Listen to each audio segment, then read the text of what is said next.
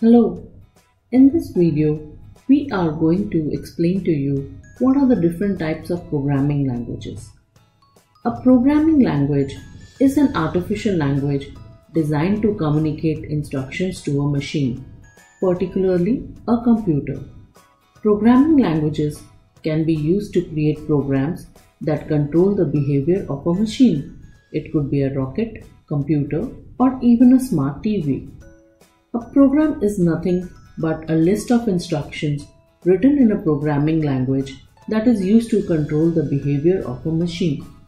There are many different programming languages and as per latest data, Java is one of the most popular language that is being used for coding.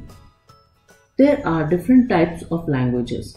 The programming languages are divided into two types, low level and high level. Low level is a language which machine understands and is of two types, assembly and machine language. High level languages are more user friendly and closer to human language.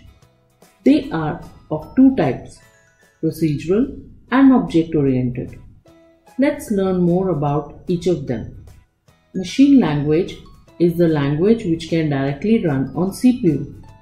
They are numeric that means in series of bits which are zeros and ones representing instructions that a computer can understand. This makes it tedious and error prone to write machine code manually.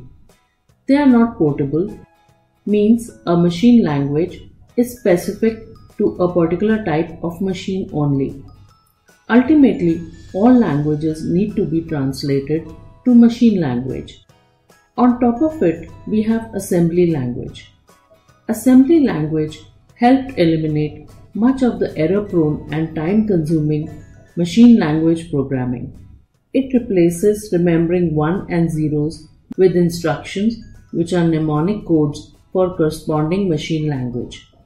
Example, it has commands like move, jump, CMP, add, etc.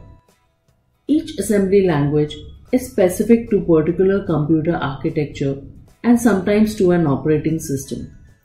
Examples include MIPS, NASM, x86, etc. Now let's take a look at high-level languages which are portable and statements are in English-like language, making it convenient to use.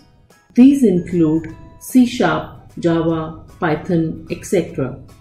The amount of abstraction provided defines how high level a programming language is. The high level languages are also of two types procedural language and object oriented language. In procedural language, the program is written in terms of sequence of steps to solve the problem. For example, steps given in a recipe or sequence of steps you follow when you wake up. In object oriented languages, Program is written as interaction of functions between participating objects. For example, in the steps for morning schedule, you have three objects, I, fridge and microwave. Each of them maintain their own internal data and expose some functions which others can use. These functions are performed by each of them to perform the sequence of steps. Procedural languages follow a top-down approach with more focus on functions. Object-oriented languages follow a bottom-up approach where there is more focus on data. The disadvantage of procedural language is that data is not secure. Code is interdependent, which makes reuse difficult. Object-oriented languages model real world so is easier to relate to.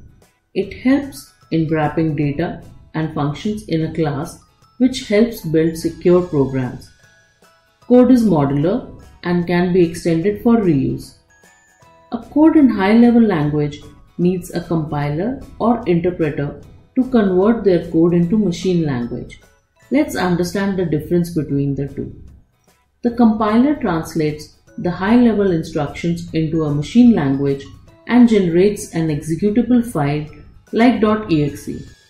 Interpreter translates the high level instruction and executes each and every line individually.